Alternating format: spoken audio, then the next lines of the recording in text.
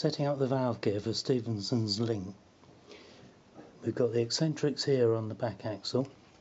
We've got the um, valve rods and the die block. And we've got a forward eccentric, which is this rod here, and a reverse eccentric, which goes to the bottom of the link on this side. So it's forward to the top of the link, reverse to the bottom of the link. And we've got two eccentrics, one for each, one for forward, one for reverse.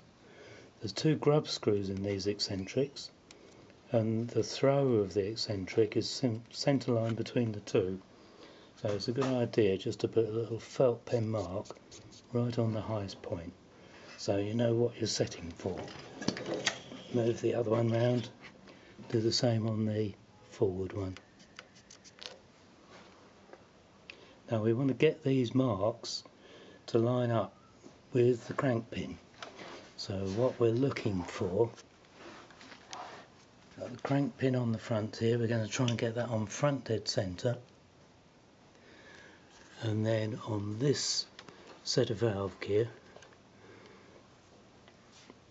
we've got this as the forward rod going to the top of the link and this is the forward eccentric and that mark a centerline mark on the eccentric wants to be leaning forward when the crank pin's forward. So we've got the crank pin at its fullest forward position. We've got the mark. If that's vertical, I've pulled it round so the mark is approximately about 15 or 16 degrees in front of that uh, centre. And then we do the same again on the reverse, but this time because the crank pin's at the back, there. The mark is actually behind the centre line, so if that's the vertical position, it's there. Right, so far we've not looked at any other parts of the valve gear, just the two eccentrics. Once we're happy we've got those in the right place, then we can move on. So we've got the cylinder with the valve on top. Now the aim is to set that valve so that it will move correctly to distribute the steam, steam down into the uh, cylinder itself. We start off by centralising the valve. So putting the reversing lever in its mid-gear position. So there should be minimal movement of the valve. Now I'm looking into the uh, top of the steam chest and I can't see the port opening. So there's just a small amount of port opening at the back push it along and I should get the same amount of port opening at the front in half a turn of the wheels and that's with the reversing lever in its mid-gear position. So next we move it down into full gear and see what happens. So the lever's gone right forward into full gear the link has gone down so that the die block is at the top of the link. So now the forward rod, forward eccentric, forward rod is lining up with the die block. And we'll see how the port opening goes.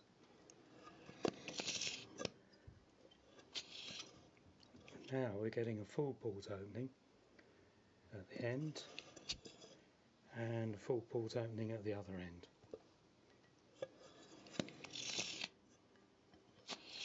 So that means that the valve is actually going as far as it needs to go. It doesn't want to go any further than that or it'll start to expose the exhaust port and you'll get steam going directly from one to the other. Full forward gear and we're going to check the valve timing actually inside the steam chest. So crank pin on front dead center and this port at the front just beginning to open. It's only open a whisker. As we move the engine along it opens full port opening so that's absolutely as far as the valve wants to go. And now the crank pin has moved down to near the bottom. And as we proceed we get to near the back dead centre and at this point that front port is actually closed I'll run that back and just show you again. So it's gone from full port opening to closed and that's before it gets to the back dead centre. Now as soon as we get actually onto back dead centre the back port should be beginning to open. There it is, you just see it starting to open. And then it goes to full port opening. There which is near the top on the crank pin. And then as we come down again that's closed as the crank pin is getting towards front dead center. So it's ready for the next cycle again. So that should now be the front port just beginning to open. There it goes. Now this is for forward gear we'd want to uh, move it into reverse gear and make sure the same valve events happen when we're going in the opposite direction.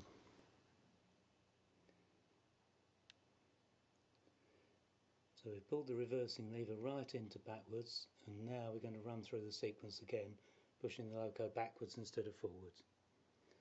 So we're now on back dead centre and this port is just about to open back port's opening, there's full port opening. With the crank pin near the bottom. And then as we keep pushing that should close. There is closed. Crank pin is getting towards um, the front dead centre but not quite at it. And as we go past front dead centre so the front should open. There it goes. So the front port is just beginning to open with the crank pin on front dead centre.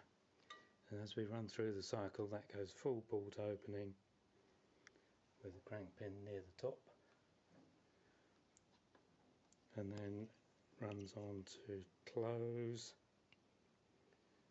with the crank pin near back dead centre and as it goes over that back dead center so the back port starts to open again. And that's running through the sequence. You need to set up each side individually to do that. Don't worry about the other side. Just stick to one side get it right and then move on to the other side. Final check on valve setting is to have a look at the notch up positions so I'll put the lever into the first notch. Now we should get the same valve events, but the port shouldn't open quite as far. So let's just have a look and see what it's doing. I pull the loco along. That's the maximum port opening, so it's only giving you about half a port opening, but it's still at the place where it would normally be. So all the timing should remain the same and it's just saving a bit of steam by not opening the port so much. Now if you do need to adjust the valves, the only place to adjust them is on this block here with the two grub screws. So loosen the grub screws, move the valve along, retighten them. Don't adjust anything else on the valve gear setup, this is the place to adjust them.